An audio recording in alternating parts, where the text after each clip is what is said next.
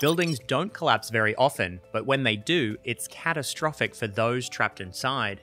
Apopo and GEA have teamed up to give these giant African pouch rats a high tech backpack to help first responders search for survivors among rubble in disaster zones.